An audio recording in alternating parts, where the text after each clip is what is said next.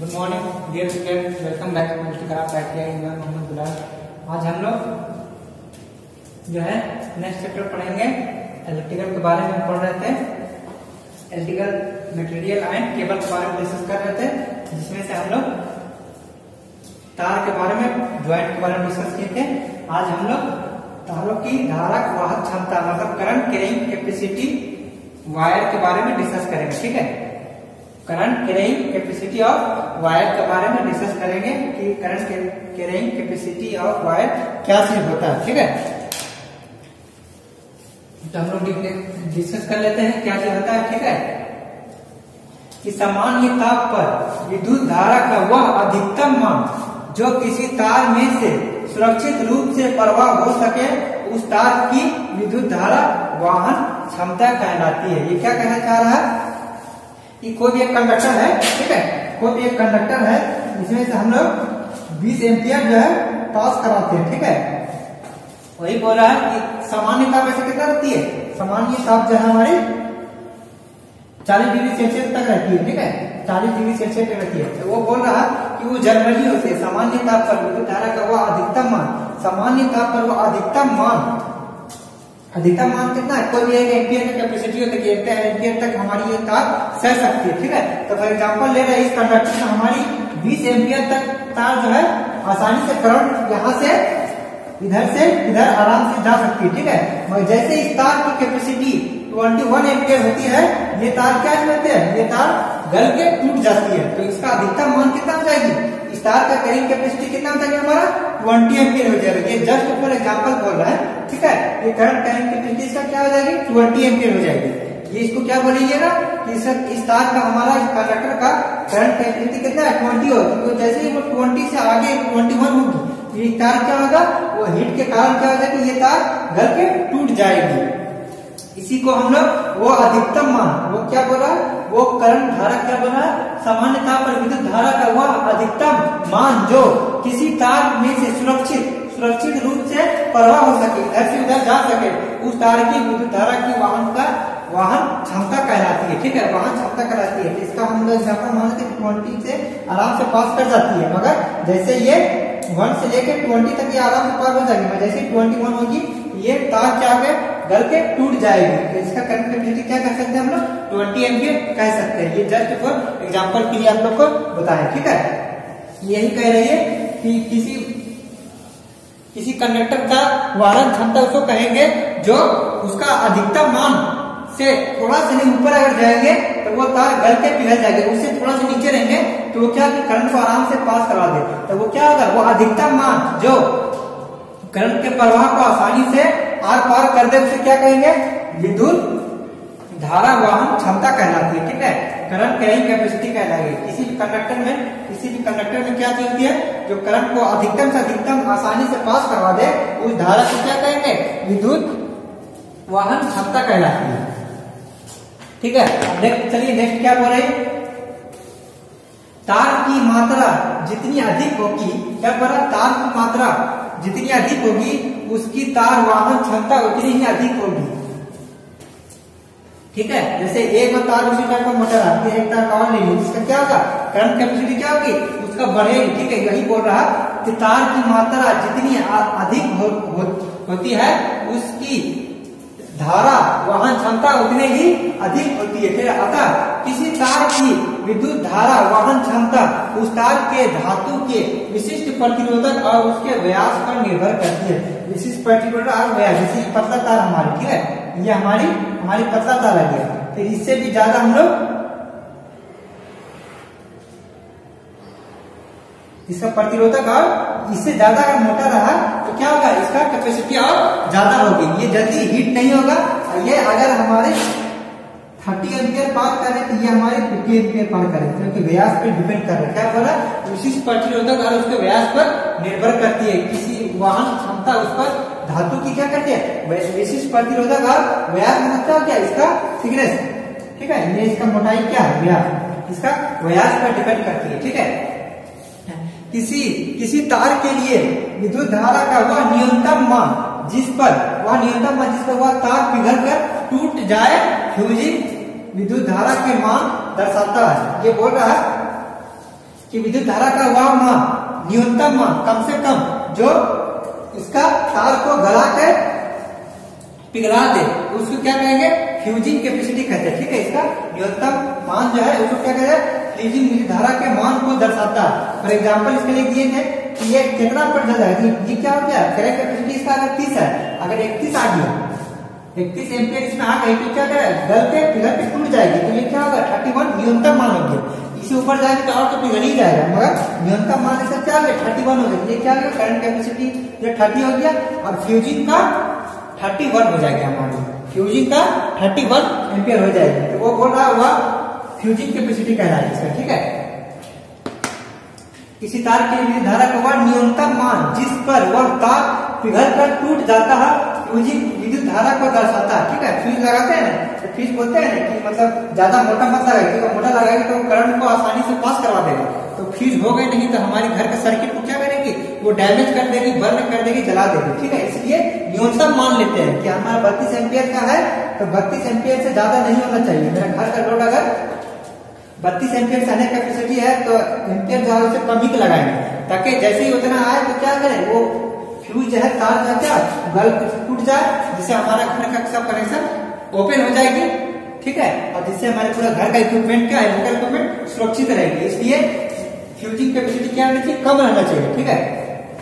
फिर बोला, तार की तार की मात्रा जितनी अधिक होगी, उसकी फ्यूजिंग विद्युत धारा का मान भी उतने अधिक होगा। जैसे हम लोग एक तार लगाए इसका हम लोग थर्टी वन एम्पियर तक सारे कैपेसिटी है। अगर दो को लगा देते क्या वैसा कैपेसिटी बढ़ जाएगी। तो क्या होगा? उसका विद्युत धारा फ्यूजिंग का मान बढ़ जाएगा। ठीक है? तो इससे इसलिए बोलते हैं कि तार क्या? एक तार लगाइए सिंगल तार लगाइए, जिसका न्यूनतम मान सबसे कम हो। गलने का न्यूनतम मान सबसे कम हो। ताकि हमारा जैसे हाई करंट जाएगी चाहे हाई करंट फॉलो होगी शॉर्ट सर्किट होगी तो क्या रेजिस्टेंस को ज़ीरो कर देगी, जिससे हमारा करंट पूरा फॉलो होने लगेगा। अब फॉलो होने से क्या करेंगे? ये फ्यूज ऑटोमेटिक हमको पिघल पे भेज जाना चाहिए। अब घर जाने से क्या होगी हमारा घर का इक्विपमेंट जो है इलेक्ट्रिकल इक्विपमेंट वो सुरक्षित रहेगी। तो यही बोल रहा है कि विद्युत फ्यूजिंग धारा का मान भी उतना ही अधिक होगा। अगर एक कंडक्टर की जगह दो लगा देंगे तो वो आसानी जल्दी नहीं गलेगी। तब तक हमारा घर का इक्विपमेंट क्या होगा? पंखा, बिजली टीवी फ्रिज सब क्या होगा? तब तक वो सबको बंद कर देगी, जला देगी। इसलिए हम लोग न्यूनतम मान लेते हैं, वो भी सिंगल तार करते हैं। अगर चाहते हैं कि नहीं, इतना जल्दी हमारा कट नहीं होगा हम लोग उस तार कंडक्टर क्या करेंगे? एक कंडक्टर से दो कंडक्टर ही बढ़ा देंगे। इसलिए इसका फ्यूज कैपेसिटी क्या होगी? बढ़ जाएगी। क्या होता है हमको फ्यूज बढ़ाना नहीं है। फ्यूज को बढ़ाएगा तो फ्यूज लगाने का पर्पज जो रहेगा क्योंकि हाई करंट हमारी में आए तो वो सर्किट ओपन हो जाए तो ओपन नहीं होगी। ओपन होने में भी अगर होगी तो बहुत लेट होगी, तब तक हमारा घर का जितना जो है, जो फ्यूज लगाने का जो मेन पर्पज है कि घर का इक्विपमेंट हमारा सुरक्षित रहे, ठीक है? सेफ्टी रहे, वो पर्पज पूरा नहीं होगी, क्योंकि डबल लगा देंगे तो उसका क्या होगा करंट कैपेसिटी जो है, उसका बढ़ जाएगा और गलनांक इसका कम हो जाएगा, ठीक है? जल्दी गलेगा नहीं, बढ़ जाएगा। उसका वजह क्या होगा? घर का ज़्यादा इक्विपमेंट है, वो सबको जला देगा। इसलिए फ्यूजिंग कैपेसिटी कम रहना चाहिए और करंट कैपेसिटी हमको ज़्यादा रहना चाहिए। तो ये होता है तारों की धारा, वाहन क्षमता, ठीक है? करंट कैपेसिटी समझ लेते क्या बोल रहा है? ये क्या बोल रहा है? सामान्य ताप सामान्य ताप मतलब क्या हीट जो है, वो ज़्यादातर होने पर फोर्टी डिग्री सेल्सियस तक होती है, ठीक है?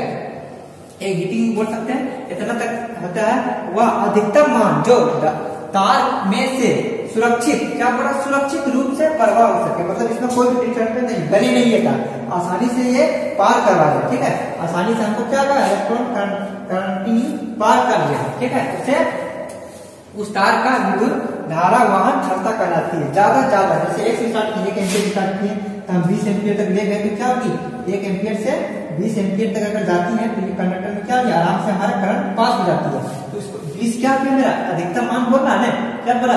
विद्युत धारा का वो अधिकतम मान, जो तार में से, तार में से सुरक्षित रूप से प्रवाह हो सके, उसे विद्युत धारा का वाहन क्षमता कहलाती है। ठीक है? आसानी से पार हो जाए। मगर जैसे हम एग्ज़ाम्पल में क्या पढ़ते हैं? यहाँ ट्वेंटी वन हो जाएँगे तो क्या करेंगे? वो करंट को पास नहीं करते इससे क्या होगा? ये गर्म होकर पिघल जाएगी।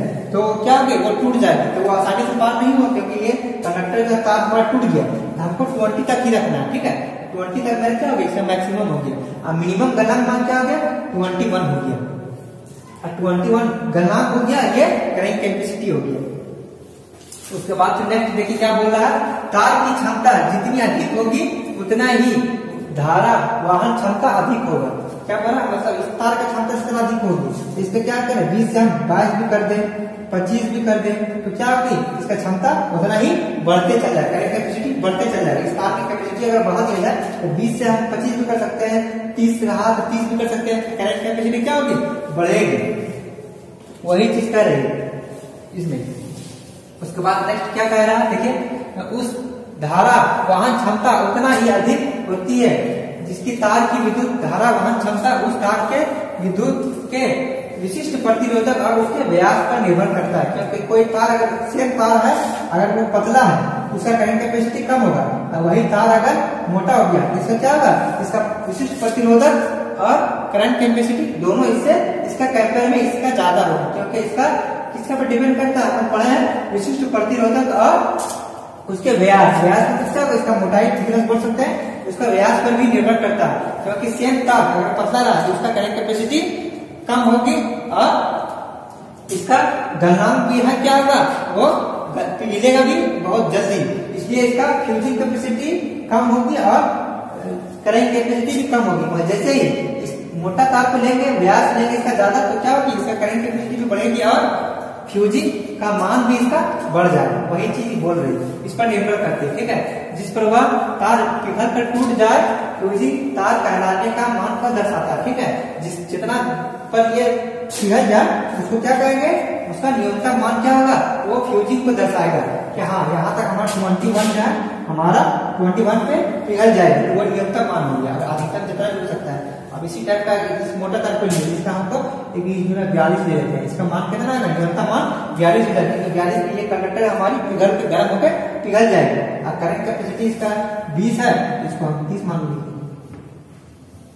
इससे इससे इससे बढ़ जाएगा। क्योंकि केस पे विशिष्ट प्रतिरोधक और इसका व्यास पे डिपेंड कर जाएगा। मोटा तार का व्यास क्या होगा? बढ़ जाएगा तो क्या होगा? उसका करंट कैपेसिटी भी बढ़ेगी और फ्यूजिंग कैपेसिटी भी बढ़ जाएगा। जितना पतला रहेगा करंट कैपेसिटी भी उतना कम रहेगी और फ्यूजन कैपेसिटी उतना कम रहेगी।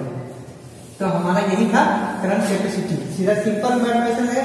जितना तक हम लोग कोई भी करंट को जितना एम्पियर तक आसानी से पास हो जाता है उस तार में, उसका अधिकतम मान जितना ज़्यादा ले सकते हैं वन एम्पियर दिए टू एम्पियर दिए, बीस एम्पियर तक ले गए तो बीस एम्पियर तक हम क्या देखते हैं? इस कंडक्टर में आराम से, तार में आराम से, इस तार से यहाँ से करंट हमारे पास हो जा रहा है तो उसका अधिकतम हो गया। जैसे इक्कीस करते हैं बीस से जैसे बढ़ते हैं, इक्कीस एम्पियर तक तो वो तार क्या होती है? गर्म होकर पिघल जाती है तो वो क्या हो गया? उसका करंट कैपेसिटी जो है, हम बीस ही मानेंगे, क्योंकि इक्कीस में तो वो पिघल जा रहा है तो हम क्या मानेंगे?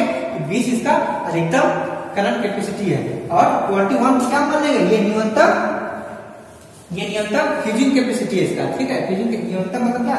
21 तक जैसे आएगी, वो तार पिघल के गल जाएगी। इसलिए फ्यूज जो हम लोग लगाएँगे, वो 21 का लगाएँगे। क्योंकि अगर न्यूनतम मान अगर नहीं लेंगे, अगर 25 लेंगे तो क्या होगी? हमारी करंट जो है 25 एम्पियर तक इसमें पास करवा देगी और वो गलेगी नहीं जल्दी। जल्दी नहीं गलेगी तब तक क्या होगी? हमारे घर का सर्किट को है, जितना इलेक्ट्रिकल इक्विपमेंट है सबको पिंकी फ़ैन, टेबल, फ़ैन, पंखा, चाहे ट्यूब लाइट ये सब क्या होगा फ्रीज वगैरह को हमारे को, वो बल्ब इसका सर्किट को बंद कर देगी जला देगी तो उसको हमको फ्रीज लगाने का पर्पज रहता है कि हमारे घर का इक्विपमेंट सुरक्षित रहे तो वो सुरक्षित नहीं रहेगी। उसके बाद चलते हैं।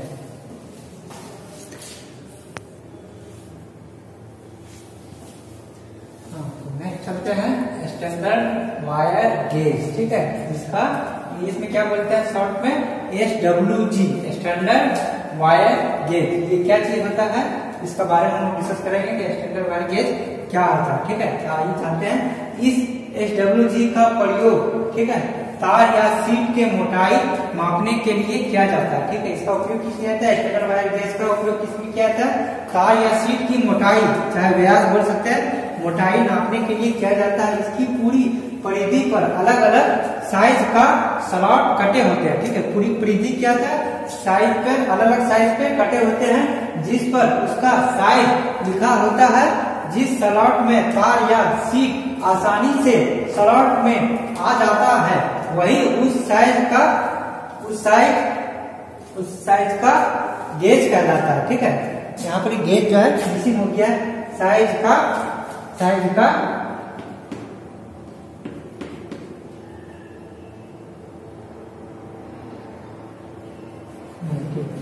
वही उसका साइज़ कहलाता है, ठीक है?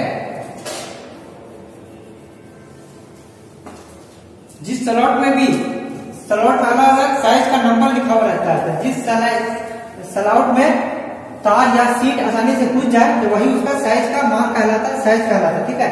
कार्यशालाओं में मतलब प्रयोग में जब करते हैं तो इसका डब्ल्यू जी का प्रयोग ज़्यादातर किया जाता है। कार्यशालाओं में इसका उपयोग ज़्यादातर किया जाता है। भारतीय मानक ब्यूरो के अनुसार इस गेज इस गेज द्वारा 0.125 से 8 एम mm तक के तार या सीट का व्यास मापा जा सकता है। बीआईएस द्वारा क्या कर सकते हैं? भारतीय मानक ब्यूरो द्वारा क्या कर सकते हैं? उस स्लॉट में कितना से कितना तक माप सकते हैं? 0.125 से 8 एम mm तक तार या सीट को मापा जा सकता है, ठीक है? सीट को मापा जा सकता है। तार का व्यास मापने के लिए पहले क्या करते हैं? इंसुलेशन को हटाकर कंडक्टर को अच्छी तरह साफ़ करते हैं, ठीक है? क्या करते हैं? इंसुलेटर को अच्छी तरह से पहले क्या करते हैं? तार को हमको नापना तो उसका कंडक्टर को नापना है इंसुलेशन को। तो तार में जानते हैं कि इंसुलेटर तार से लपेटी हुई रहती है इंसुलेटर से इंसुलेशन को क्या करते हैं? हटा देंगे, ताकि अंदर में सिर्फ़ हमारी कंडक्टर बची हुई रहे, ठीक है? उसको अच्छी तरह साफ़ करके और फिर अंदाज से वन बाय वन स्लॉट में क्या करते हैं? डालते हैं तार, जिस स्लॉट में अच्छी तरह से चली जाए, जिससे तार ना ही ढीला हो और ना ही टाइट हो। तो स्लॉट का नंबर ही तार का गेज कहलाता है। ठीक है, ध्यान दे कि तार में स्लॉट से नापे, ना कि हॉल छेद छेद में डालकर। ठीक है, इसका एग्ज़ाम्पल जैसे देख लीजिए। स्लॉट हमारी होती किस कैसा है ठीक है, ये का हमारी स्लॉट होती है।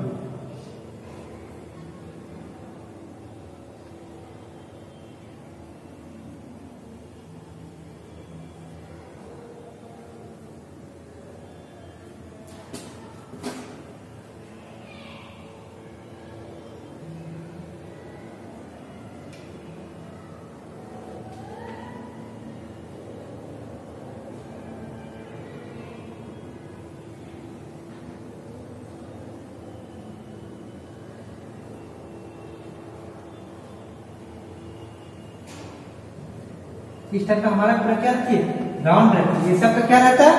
एक नंबर दिया रहता है, ठीक है? ये सब का एक नंबर दिया रहता है, ठीक है? तो क्या बोला? ये चीज़ क्या थी? ये चीज़ हमारी सलोट होगा ये छेद हो गई, ठीक है? ये चीज़ जो घर पर देख रहे हैं क्या? छेद हो गई, ये सलोट हो गई। तो क्या करता है? पहले कैसे तरह नापने का क्या साधन है इसका? कोई भी हमारी एक ये हमारी एक तार है, ठीक है? इसका अंदर बीच में क्या है? इंसुलेटर रहती है, ठीक है? तो क्या बोल पहले क्या करेंगे नापने के लिए क्या करते हैं? पहले इंसुलेटर को हटा देते हैं। ये जो हमारी इंसुलेटर ये पार्ट है, इसको क्या कीजिएगा छील दीजिएगा हटा दीजिएगा स्टैंडिंग कर दीजिएगा ठीक है? और उसको हटाने के बाद क्या करते हैं? इस टाइप का हमारे कंडक्टर निकलेगी, जो पूरा बढ़िया से साफ़ किया होना चाहिए। उसको क्या कीजिएगा? बहुत तो क्या करेगा इसमें जो है, इस छेद में डुबा देंगे, ठीक है? तो ये गलत तरीका, ये यही बोल रही है कि ध्यान दीजिए कि तार को स्लॉट में घुसाना है। ये जो स्लॉट बचत दिख रही है ये हमारे क्या है? ऊपर में ये कटा हुआ, ये स्लॉट है तो हमको स्लॉट में डालना है, ना कि डायरेक्ट इसका छेद में डालना है, ठीक है? इसका छेद में नहीं डालना डायरेक्ट इसका स्लॉट में डालना स्लॉट से जो इसका नेमिंग दिया रहेगा, जैसे कुछ भी दिया रहेगा, तीन दिया रहेगा, चार दिया होगा पाँच है। छह सात तो जिसमें आसानी से फिट हो जाए, ये आसानी से इस स्लॉट में फिट हो जाए। ना ही ढीला हो, ना ही टाइट हो।